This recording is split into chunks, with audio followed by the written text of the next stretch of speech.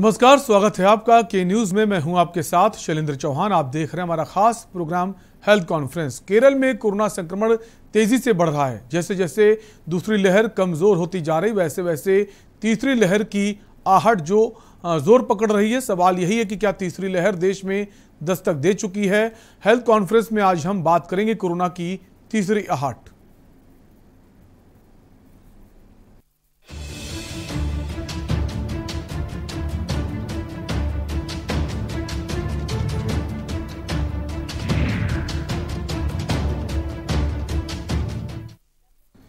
देश में कोरोना संक्रमण के मामलों में लगातार उतार चढ़ाव जारी है। भारत में कोरोना के मामलों में बीते एक दिन में भारी बढ़ोतरी दर्ज की गई है। पिछले 24 घंटे में तैतालीस हज़ार नए मामले सामने आए हैं। आपको बता दें, मंगलवार को तीस हज़ार से कम मामले आए थे, लेकिन एक दिन के अंदर ही ये संख्या तेरह हज़ार बढ़ गई। इनमें से आधे से ज़्यादा केस सिर्फ़ एक राज्य केरल से हैं। केरल में एक दिन में बीस हज़ार से ज़्यादा मामले सामने आए हैं। पिछले डेढ़ महीने में पहली बार किसी राज्य में कोरोना के बीस हज़ार से ज़्यादा मामले सामने आए हैं। राज्य में कोरोना संक्रमण के नए मामलों ने एक बार फिर से चिंता बढ़ा दी है। पूर्वोत्तर के आंकड़े तीसरी लहर की आहट सुना रहे हैं। पिछले चार हफ्तों में सात राज्यों के बाईस जिलों में फिर से बढ़ रहे कोरोना के नए मामले बढ़े हैं, जो केंद्र और राज्य सरकारों की चिंता बढ़ा रहे हैं। बड़ा सवाल, क्या देश में तीसरी लहर आ चुकी है? इसी पर हम, हमारे साथ डॉक्टर से पैनल जुड़ेगा, उनसे हम इस पर बातचीत करेंगे। उससे पहले रिपोर्ट देखिए।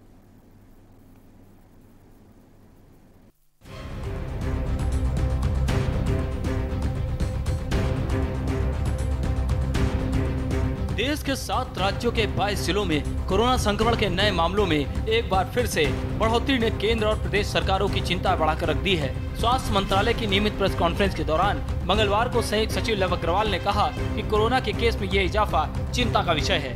उन्होंने कहा कि कोविड के नए मामलों में हफ़्ते दर हफ़्ते लगातार गिरावट देखने को मिल रही थी, लेकिन अगर हम मामलों में गिरावट की दर की तुलना दूसरे से अब तक करें तो इसकी कमी चिंता का विषय बनी हुई है। उन्होंने कहा कि हम इसको लेकर राज्य सरकारों से बात कर रहे हैं। हम यहाँ भी आपको ये भी बताना चाहेंगे कि जैसे शुरू के कुछ हफ्तों में एक शार्प डिक्लाइन नोट किया गया था, अब पिछले दो तीन हफ्तों से यह डिक्लाइन में एक जो रेट ऑफ़ डिक्लाइन है, उसमें कुछ कमी भी नोट की गई है which remains an area of concern जिसके लिए हम स्टेट से डिस्कशन करते हुए कैसे केसेस को कंट्रोल करना है, बातचीत कर रहे हैं। सरकार के मुताबिक देश में चौवन जिलों में 10 फ़ीसदी ऐसी ज़्यादा पॉजिटिव केस हैं। पूरे विश्व में भी कोविड केस में एक बार फिर से बढ़ोतरी देखी जा रही है, जो कि चिंता की बात है। लव अग्रवाल ने कहा कि हम वायरस से लड़ाई में ढीले नहीं पड़ सकते, इसलिए हम उन इलाकों को ट्रैक कर रहे हैं, जहाँ पर केस बढ़ रहे हैं, ताकि उन इलाकों में सख्ती बरती जा सके। स्टेट वाइज ऐसे कौन से ज़िले हैं जहाँ पर की वीक ऑन वीक बेसिस पर अगर हम देखें तो पिछले चार हफ्तों में केसेस में संख्या में वृद्धि हुई है। यह वृद्धि एक, मान लीजिए कि लिमिटेड नंबर ऑफ़ केसेस से थोड़ी भी वृद्धि है तो यह कॉज ऑफ़ कंसर्न है, जिसके लिए हम स्टेट से डिस्कस करते रहते हैं। इसमें मुख्यतः केरला से सात ज़िले हैं, मणिपुर से पाँच ज़िले हैं, मेघालय में तीन, अरुणाचल प्रदेश में तीन, महाराष्ट्र में दो ज़िले, असम में एक जिला और त्रिपुरा में भी इसी तरह से एक जिला है। स्वास्थ्य मंत्रालय की ब्रीफिंग के दौरान ये बताया गया, अब तक देश में कुल 44 करोड़ से ज़्यादा कोरोना वैक्सीन की डोज दी जा चुकी है। पूरे विश्व में 5 लाख से ज़्यादा केस सामने आ रहे हैं। पिछले 14 दिनों में फ्रांस, इटली में मामलों में तेज़ी देखी गई। देश में अब संतानवे दशमलव चार फ़ीसदी का रिकवरी रेट हो चुका है। यानी ओवरऑल मामलों में कमी आई है, लेकिन खतरा अभी भी बना हुआ है। हम देखते हैं कि पूरे विश्व में भी केसेस की संख्या में फिर से एक वृद्धि नोट की जा रही है which remains area of concern and हम लोगों को उसको समझकर अपने कंटेनमेंट एक्टिविटीज़ अपने मैनेजमेंट एक्टिविटीज़ पर उसी कठिनाई से, उसी कठोर संगति से कार्य करना है ताकि हम केसेस को कंट्रोल कर सकें। इसमें अगर आप देखेंगे तो जैसे कि पाँच लाख सत्ताईस हज़ार cases on a daily basis पूरे विश्व में अभी रिपोर्ट किए जा रहे हैं। अगर इसी डेटा को हम कंट्री वाइज एनालाइज करें तो हम आपको बताना चाहेंगे कि पिछले कुछ दिनों में कई देशों में बहुत अधिक केसेस में वृद्धि नोट की गई है। जैसे यूनाइटेड स्टेट्स में पिछले 14 दिनों में केसेस में 1.4 टाइम्स वृद्धि नोट हुई है। फ्रांस में as high as 3.5 times cases में वृद्धि नोट हुई है। यानी कि पिछले 14 दिनों में फ्रांस में जितने केसेस रिपोर्ट होते थे, उसमें 355 प्रतिशत की वृद्धि हुई है। इसी तरह इटली में 2.7 टाइम्स और जापान में भी 1.2 टाइम्स केसेस में वृद्धि हुई है। बता दें कि कोरोना के पिछले सप्ताह के डेटा बताता है कि भारत के कुछ राज्यों के जिलों में मामले बढ़े हैं, पर पूर्वोत्तर में असम को छोड़कर 16.2 प्रतिशत की वृद्धि दर से कोरोना के मामले पिछले सप्ताह बढ़े हैं। पूर्वोत्तर के सात में से चार जिलों में कोरोना का स्पाइक देखा गया है। वहीं अरुणाचल प्रदेश में पिछले सप्ताह के कोविड पीक के करीब मामले दर्ज किए गए। पूर्वोत्तर में कोरोना के संक्रमण की वृद्धि स्वास्थ्य विभाग के लिए चिंता का विषय बनी हुई है। बता दें कि लगातार तीसरा हफ़्ता है, जहाँ इस क्षेत्र में कोरोना के मामलों में बढ़ोतरी दर्ज की गई। जैसे जैसे दूसरी लहर कमज़ोर होती जा रही है, तीसरी लहर की आहट सरकार के साथ लोगों की टेंशन बढ़ा रही है। ऐसे में बड़ा सवाल है कि कहीं पूर्वोत्तर के रास्ते तीसरी लहर देश में कोहराम मचाने की दस्तक तो नहीं दे रही। स्पेशल डेस्क के न्यूज़ इंडिया। तो लगातार जिस तरह से संख्या जो है कोरोना संक्रमण की कम हो रही थी लेकिन अचानक केरल में बाईस हज़ार से ज़्यादा मामले सामने आए। उसने वाकई चिंता जो है बढ़ा दी है। इसी पर हम चर्चा करेंगे। हमारे साथ डॉक्टर रोहन कृष्णन जुड़ गए हैं। आर आर डी हैं आर एम दिल्ली से। डॉक्टर रोहन स्वागत है आपका। बहुत बहुत धन्यवाद। और साथ ही साथ असम से हमारे साथ हमारे सहयोगी हैं चंदन हीरा। चंदन आपका भी स्वागत है। और सबसे पहले डॉक्टर रोहन आपके पास ही आऊँगा। जिस तरह से मामले केरल में एक दिन में इतने ज़्यादा मामले सामने आए, जहाँ एक तरफ़ पूरे देश का आंकड़ा, वहीं आधे से ज़्यादा आंकड़ा सिर्फ़ केरल का है। तो अब हम ये मान लें कि जो तीसरी लहर है, उसने दस्तक दे दी है। देखिए इतने जल्दी ये मान लेना तो एक पैनिक सिचुएशन क्रिएट हो जाएगा कि तीसरे लहर ने दस्तक दे दी है। लेकिन हमें ये ज़रूर मान लेना चाहिए कि ऐसे कई लहर आते रहेंगे और जाते रहेंगे। और इन लहरों को हमें इसी तरह रोकना है कि अलग अलग राज्यों में हर राज्य में अपने अपने जो राज्य सरकारें हैं उन्हें स्ट्रिक्ट एक्शंस लेना होगा हम्म। अभी कुछ दिन पहले आपने देखा होगा कि केरल में बकरीद को लेकर के भी कुछ ढिलाई की पाबंदियों में ढिलाई की हम्म। रियायतें दी गई थी हम्म। तो इस तरह की चीज़ें जो होती हैं जब सरकार इस तरह का हरकत करती है तो उसके साथ ही साथ जो जनता है उनके भी मन में एक फीलिंग आ जाती है एक ऐसा संदेश आ जाता है मन में कि शायद कोरोना पे हम कंट्रोल पा चुके हैं। हम्म। तो कहीं ना कहीं यही एक कारण बनता है जो कि एक बम के फटने के, के हिसाब से होता है। हम सभी एक वॉल्केनो पे बैठे हुए हैं। इस पे या तो ये हम इसे दबा लेंगे और यदि हम इसे दबा लिए तो हम इस पे निजात पा लेंगे और यदि हम इसको इग्नोर कर देंगे यदि हम इस पे ध्यान नहीं देंगे यदि हम अपना रवैया ढीला कर लेंगे। तो फिर ये फिर थर्ड वेव क्या ये फिर फोर्थ वेव भी आएगा फिफ्थ वेव भी आएगा यदि हिंदुस्तान की जनता अपने आप पे कंट्रोल नहीं करेगी तो कोरोना पे कंट्रोल ऐसे खुद से नहीं होगा हम्म। लेकिन सवाल डॉक्टर रोहन ये भी बना हुआ है कि जिस तरह से बाकी राज्यों में केसेस कम हो रहे हैं वहाँ पर अनलॉक प्रक्रिया शुरू हो चुकी है अगर बात हम दिल्ली की करें जो देश की राजधानी है वहाँ पर अब धीरे धीरे जो अनलॉक प्रक्रिया थी स्पा स्विमिंग पूल्स और मल्टीप्लेक्स उनको भी खोला जा रहा है तो कहीं ना कहीं फिर से उसके लिए काफ़ी दोबारा सोचने की ज़रूरत नहीं है क्योंकि महाराष्ट्र में भी स्थिति बहुत बेहतर नहीं है। बिल, बिल्कुल देखिए ये बात तो ज़रूरी है कि कहीं ना कहीं हमें लाइफ में नॉर्मलसी भी चाहिए। लेकिन नॉर्मेलिसी की जो पैरामीटर्स हैं वो अभी हम बहुत ढीले रूप से नहीं कर सकते हैं हम्म। अभी स्विमिंग पूल स्पा इन सब में रियायतें सरकारों ने तो ज़रूर दे दी है हम्म। लेकिन मेरी जनता से यही दरख्वास्त रहेगी यही गुजारिश रहेगी कि इन चीज़ों को इन गतिविधियों को बिल्कुल ही अवॉइड करें हम्म। क्योंकि कहीं ना कहीं इंफ्रास्ट्रक्चर डेवलपमेंट और इकोनॉमिकल डेवलपमेंट के लिए सरकार को भी कुछ कदम उठाने पड़ते हैं ये सही है या गलत है इसका इस मैं अभी टिप्पणी नहीं करूँगा क्योंकि यदि दिल्ली की पॉजिटिविटी रेट देखी जाए तो पॉइंट ज़ीरो फाइव परसेंट है तो ऐसे में वो कर सकते हैं ऐसे में हम्म। उनका करने को कोई कहीं से गलत नहीं ठहराया जा सकता है लेकिन साथ ही साथ हमें ये बात को समझना होगा कि जो ये वायरस है उसकी विरुलेंसी जो है यानी कि जो हम्म। क्षमता की वो एक व्यक्ति से किसी दूसरे व्यक्ति को इन्फेक्ट कर दे हम्म। ये बहुत ही ज़्यादा होती है तो हम्म। ऐसे में यदि एक इंसान भी इन्फेक्टेड स्विमिंग पूल में चला गया तो उस पूल के पानी को इन्फेक्ट कर देगा हम्म। और यदि उस पर दिन भर में सौ लोगों ने नहा लिया और तैर लिया तो वो सौ लोग को, कोरोना होने के चांसेस हो जाएँगे और फिर वो सौ लोग फिर अपने घर में जाएँगे हम्म। तो वो अगर चार लोग को भी करे तो चार सौ लोग एक दिन में ट्रांस ट्रांसमिशन फैल जाएगा। तो ये चेन ट्रांसमिशन होता है। ये ट्रांसमिशन एक से दो के हिसाब से नहीं होता, ये एक से दस दस के सौ के हिसाब से इसीलिए इसको वेव कहा जाता है क्योंकि एपिडेमियोलॉजिकल कर्व में वो एक बड़ा सा एक तूफ़ान भर लेता है। तो इसलिए कहीं ना कहीं हमें ये जो गतिविधियाँ सरकार ने चालू ज़रूर की है, लेकिन हमें कोविड प्रोटोकॉल्स को फॉलो करना चाहिए और इन गतिविधियों से जितना हो सके उतना परहेज करना चाहिए। ये गतिविधियाँ को अभी अपनाना बिल्कुल ही सेफ़ नहीं है। बिल्कुल सेफ़ नहीं और कोविड अप्रोप्रिएट बिहेवियर जो है उसको आपको बनाना होगा ताकि आप सुरक्षित रहें। हमारे साथ हमारे सहयोगी हैं असम से चंदन हीरा। चंदन पूर्वोत्तर राज्यों में भी स्थिति बहुत बेहतर नहीं है। असम को लेकर क्या जानकारी आपके पास है? वहाँ पर उस वक्त जो स्थिति है वो कैसी बनी हुई? है हाँ असम में असम में पहले जो महीने था तब तक असम में पूरा कोरोना का जो कहर था वो बढ़ रहा था हम्म। लेकिन जुलाई से थोड़ा कम हो रहा है असम में हम्म।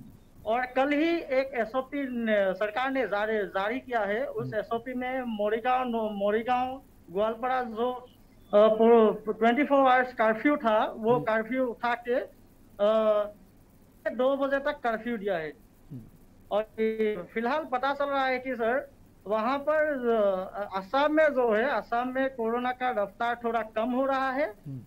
और हो सकता है सर अगस्त या सितंबर में इसका इसका जो असर है वो खत्म हो सकता है सर। लेकिन चंदन जो बाकी नॉर्थ ईस्ट के बाकी जो स्टेट हैं वहाँ पर मामले अभी भी लगातार बने हुए हैं।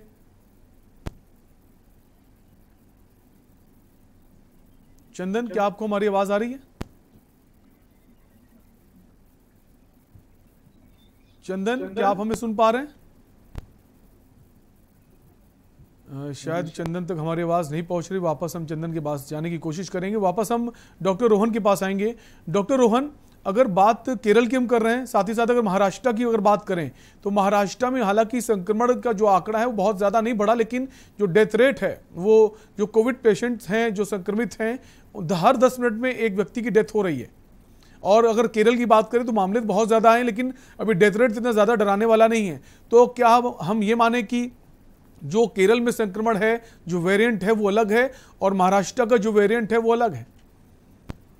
देखिए, ये बात बिल्कुल सही है कि महाराष्ट्र में जो जो कोविड के केसेस हैं, वो कम है, लेकिन अलार्मिंग और डेथ रेट का जो डिफरेंस है वो कई चीज़ों पे डिपेंड करता है एक जो आपने बहुत ही महत्वपूर्ण हम्म। चीज़ बोली उसका मापक ये भी होता है कि वायरस का वेरिएंट कौन सा है और वो कितना वेरुलेंट है हम्म। उसके अलावा हेल्थ इंफ्रास्ट्रक्चर भी एक बहुत बड़ा पहलू है कि वहाँ की अस्पताल की सुविधाएँ कैसी हैं वहाँ के जन जागरूकता कैसी है हम्म। वहाँ पर लोग इसको किस तरह से ले रहे हैं तो कहीं ना कहीं इस मामले में केरल ज़रूर पूरे भारतवर्ष में एक लीड लीडिंग स्टेट रहा है हम्म। जहाँ की लिटरेसी रेट भी बहुत ज़्यादा है और यहाँ पर लोगों का एक ये होता है एक माहौल ऐसा होता है कि वो तुरंत ही अपना इलाज करवाने के लिए अस्पताल में जाते हैं तुरंत कोविड टेस्टिंग करवाते हैं और इन चीज़ों से भी मोर्टेलिटी कम होती है। हम्म। और उसके अलावा भी केरल का hospital structure and hospital setups भी काफ़ी अच्छा है। हम्म। तो ये एक मेजर फैक्टर ये भी है कि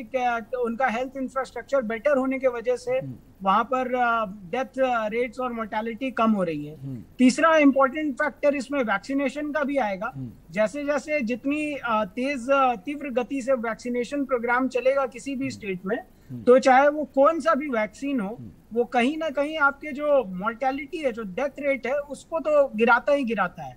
तो इन तीनों फैक्टर्स को हम ध्यान में रख सकते हैं। लेकिन हाँ इसमें सबसे महत्वपूर्ण फैक्टर बिल्कुल ये है कि हो सकता है कि वहाँ पर जो वेरिएंट है कोविड का, वो ज़्यादा खतरनाक हो। और ऐसे भी महाराष्ट्र के साथ ये देखा गया है कि महाराष्ट्र का विदेशों से, पश्चिमी देशों से कॉन्टैक्ट ट्रांसमिशन बहुत ज़्यादा है। डायरेक्ट बॉम्बे से वेरियस कंट्रीज़ की फ्लाइट्स होती हैं। बॉम्बे हम्म। से डायरेक्टली पुणे से और कई महाराष्ट्र के राज्यों में विदेशों से आना जाना लगा रहता है। तो हम्म। इस तरह से भी जब कोविड के इंटरनेशनल कर्व्स भी कम होते हैं तो इंटरनेशनल ट्रैवल भी जो होते हैं वो महाराष्ट्र लेवल से ज़्यादा होते हैं। हम्म। और वहाँ के जो वेरिएंट्स हैं वो ज़्यादा खतरनाक वेरिएंट्स हैं। तो ये भी एक कारण है। इनमें से डॉक्टर रोहन क्या हम ये माने कि बाकी कंट्रीज़ की अगर बात करते हैं हम हाँ चाहे फ्रांस हो इटली हो और जापान में भी स्थिति ठीक नहीं साथ ही साथ अमेरिका में भी लगातार केसेस बढ़ रहे हैं। लेकिन अच्छी बात यह है कि अगर अमेरिका की हम करें कि जो डेथ रेट है वो बहुत ना के बराबर है। इसका बड़ा कारण ये माने कि जो वैक्सीनेट हो चुके हैं बहुत सारे लोग तो वैक्सीनेशन होने की वजह से जो कंडीशन है वो बहुत ज़्यादा क्रिटिकल नहीं हो रही है। बिल्कुल बिल्कुल सही कह रहे हैं आप। जो वैक्सीनेशन होने के बाद जो कंडीशन है वो क्रिटिकल नहीं होगी। मैं स्वयं भुक्त भोगी हूँ पोस्ट वैक्सीनेशन कोविड मुझे हुआ था और मेरे कंडीशन उतनी खराब नहीं हुई जितनी कि अन्य लोगों को कोविड के दौरान होती है वैक्सीनेशन के बिना। तो वैक्सीनेशन एक बहुत ही इम्पोर्टेंट प्रोसेस है इस बीमारी से लड़ने के लिए। और हिंदुस्तान के बारे में दुर्भाग्यपूर्ण बात यह रही है कि हमारा देश सदैव से वैक्सीनेशन अनफ्रेंडली रहा है। हम वैक्सीनेशन को पसंद नहीं किए हैं हम्म। जिस कारण से हमें पोलियो मिटाने में सालों लग गए वर्षों लग गए। ट्यूबरकुलोसिस जैसी बीमारियाँ आज भी हमारे पास हैं और आज भी बहुत ही मात्रा में देखी जाती हैं। हम्म। तो हमें इसकी महत्ता को समझना होगा। अमेरिका में इस बारी जो डेथ रेट्स हैं वो कम हो रहे हैं उसका यही मेजर काम है कि वो वैक्सीनेशन कर रहे हैं। और दूसरी उनकी पॉलिसी अच्छी थी जिसमें कि उन्होंने जिन्हें ऑल की पॉलिसी कराया था जिसमें कि सम इम्यूनिटी टू ऑल का उनका कॉन्सेप्ट था और उसमें फिर उन्होंने एज बैरियर्स को नहीं दिया था जो कि गवर्नमेंट ऑफ़ इंडिया ने बाद में अपनाया उसे। हम्म। उसमें उससे ये फ़ायदा होता है कि कुछ सभी लोगों को कुछ ना कुछ इम्यूनिटी मिल जाती है यदि आपको एक डोज भी पड़ा है। हम्म। हाँ, लेकिन डॉक्टर रोहन आपके पास हम आएँगे हमारे साथ चंदन ही बने हुए वापस हम चंदन के पास आएँगे। चंदन क्या आप हमें सुन पा रहे हैं? चंदन क्या आपको हमारी आवाज़ आ रही है? हाँ सर आ रही है। चंदन आपसे जानना चाहेंगे क्योंकि बाकी जो नॉर्थ ईस्ट के राज्य हैं वहाँ पर स्थिति ठीक नहीं अभी भी लगातार केसेस बढ़ रहे हैं। असम को लेकर जो जानकारी मिल पा रही कि असम में बहुत ज़्यादा स्थिति खराब नहीं है और अनलॉक की प्रक्रिया भी शुरू की जा रही है। क्या अपडेट है आपके पास? हाँ सर आसाम में ऐसा हुआ था कि आसाम में जून के समय भी कोरोना का जो कोरोना का जो केस था वो बहुत ही ज़्यादा था हम्म। और उसके बाद क्या जुलाई आया जुलाई में थोड़ा कम कम हो रहा था कोरोना पॉजिटिव का रेट जो है सर पूरा कम हो गया था हम्म। उसी को लेकर सरकार ने ये किया कि सरकार ने उसको देखा कि कहाँ पर कहाँ कहाँ पर कोरोना का पॉजिटिव का जो रेट है वहाँ कहाँ कहाँ पर ज़्यादा है वहाँ पर पूरा कर्फ्यू लगा दिया था और और जहाँ पर रेट कम हो गया था वहाँ पर कर्फ्यू हटा दिया गया है हम्म। और और एक बात है मोरीगांव ग्वालपाड़ा और मोरीगांव ग्वालपाड़ा और सात जिलों में पूरा कर्फ्यू लगा दिया गया था हम्म। उसके बाद ही मोरीगांव ग्वालपाड़ा में ऐसा हुआ था हम्म। कि कोरोना का जो पॉजिटिव रेट था वो जुलाई से कम हो गया है और इसी के लिए मोरिगा ग्वालपाड़ा को सुबह पाँच बजे से दो बजे तक खुला दिया गया है और दो बजे से पूरा कर्फ्यू लगा दिया गया है। हम्म। तो चंदन अब हम ये माने कि अभी भी और सख्ती की जा सकती है क्योंकि बाकी राज्यों में जिस तरह से केसेस बढ़ रहे हैं उसको देखते हुए क्या असम गवर्नमेंट फिर से वापस सख्ती बरत सकती है राज्य में? इसके लिए कोरोना का जो रेट है असम में कम हो गया है। हम्म। ठीक है चंदन आप बने रहिए। डॉक्टर रोहन आप भी बने रहिए। ब्रेक का वक्त है ब्रेक के बाद हम वापस आएँगे और हेल्थ कॉन्फ्रेंस में चर्चा को आगे बढ़ाएँगे।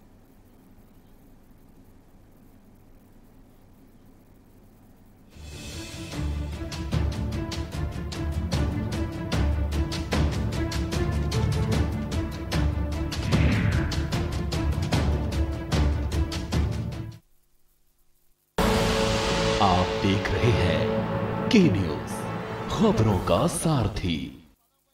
अगर कोरोना महामारी के चलते आपके या आपके किसी जान पहचान के परिवार में कोरोना से मृत्यु हुई है तो आप हिम्मत न हारें। दिल्ली सरकार आपके साथ खड़ी है। कोविड से अपनों को खोने वाले परिवारों के लिए दिल्ली सरकार ने मुख्यमंत्री कोविड 19 परिवार आर्थिक सहायता योजना शुरू की है। इससे आप दो तरह से सहायता प्राप्त कर सकते हैं। मासिक आर्थिक सहायता कोविड से जिन्होंने अपने परिवारों में कमाने वालों को खोया है, उन्हें हर महीने ढाई हज़ार रूपए की आर्थिक सहायता दी जाएगी। एक मुश्त सहायता। कोविड में अगर आपके परिवार में किसी की भी मृत्यु हुई है तो आप पचास हज़ार रूपए की एक मुश्त अनुग्रह सहायता राशि पा सकते हैं। विस्तृत जानकारी और आवेदन के लिए आप E district dot Delhi government dot N I C dot in पर लॉग इन करें। दिल्ली सरकार है आपके साथ। आप देख रहे हैं के न्यूज़ खबरों का सारथी।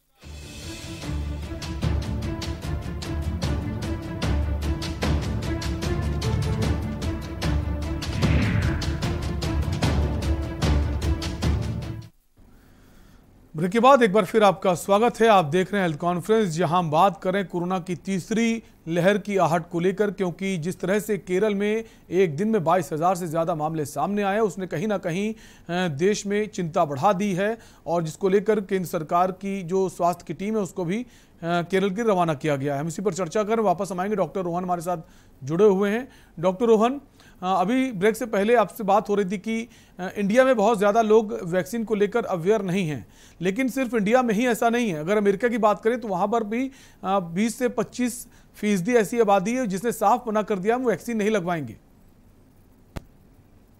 देखिए, ये तो बिल्कुल सही बात है कि ग्लोबली भी लोग ऐसा कह सकते हैं, ऐसा कर सकते हैं, क्योंकि कहीं ना कहीं जो फ्रीडम और लिबरलाइजेशन है इसका लोग गलत मतलब भी निकाल लेते हैं और ज़ाहिर सी बात है कि आज़ाद भारत है आज़ाद देश है आज़ाद अमेरिका भी है तो हम फोर्स नहीं कर सकते हैं हम्म। किसी को लेकिन जो मैंने कहा कि वैक्सीनेशन अनफ्रेंडली ये कंट्री रहा है तो हम्म। इसका सिर्फ़ कोविड से लेना देना नहीं है मैं हम्म। आपको बता दूँ कि वैक्सीनेशन अनफ्रेंडली चाहे वो हमारा देश पोलियो की वैक्सीनेशन प्रोग्राम रहा हो इन्फ्लुएंजा की वैक्सीनेशन हम्म। प्रोग्राम रहा हो M M R vaccination programme रहा हो मीजल्स मलेरिया रुबेला वैक्सीनेशन कई वैक्सीनेशन प्रोग्राम में ऐसा देखा गया है कि कई तरह की भ्रांति लोगों के मन में होती है कई तरह के धर्म गुरुओं हम्म। का अलग अलग तरह की बयानबाजी आ जाती है कई तरह के नेताओं का अलग अलग तरह का बयानबाजी आ जाता है कई हम्म। तरह की पॉलिटिकल पार्टीज़ की अलग अलग बयानबाजी आ जाती है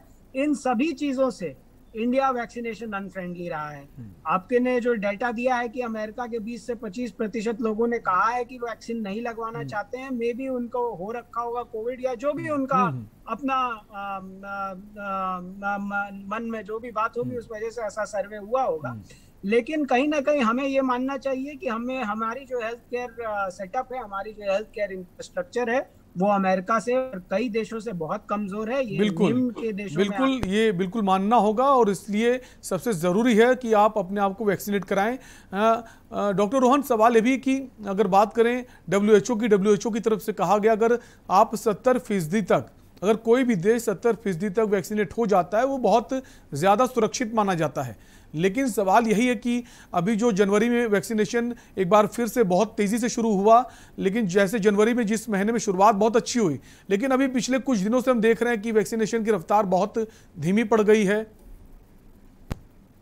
बिल्कुल ये जो वैक्सीनेशन का जो जो कह रहा हूँ मैं कि अवेयरनेस की कमी है लोगों में और दोबारा से वैक्सीनेशन की रफ्तार धीमी पड़ रही है जैसे जैसे कोरोना के केसेस कम हो रहे हैं हम्म। लोगों को लग रहा है कि अब कोरोना खत्म हो गया हम्म। अब क्या ही ज़रूरत है अभी परसों ही मैं अस्पताल में था तो अस्पताल में एक मरीज़ बैठे हुए थे तो मेरी उनसे बात हुई हम्म। तभी उन्होंने बीच में ही कहा कि मैंने उन्होंने मास्क को अपने नीचे कर रखा था तो मैंने कहा मास्क ऊपर कर लीजिए मैडम तो उन्होंने कहा कि नहीं भाई अब तो ये खत्म हो रहा है अब तो कोई हम्म। ज़रूरत नहीं है इसका तो इस तरह की चीज़ें यहाँ पर बढ़ती ही चली जा रही हैं तो कहीं ना कहीं हमें इस बात का भी ध्यान रखना है कि हमारा कोरोना के जो वैक्सीनेशन की अवेयरनेस है वो अवेयरनेस बिल्कुल। लेकिन डॉक्टर रोहन प्रोडक्शन की भी कमी है। वैक्सीन बहुत ज़्यादा बहुत जगह हमने ऐसी खबरें देखी जहाँ पर वैक्सीनेशन सेंटर्स जो हैं वहाँ पर वैक्सीन ही नहीं उपलब्ध है। हालाँकि सरकार लगातार प्रयास कर रही है कि ज़्यादा से ज़्यादा संख्या में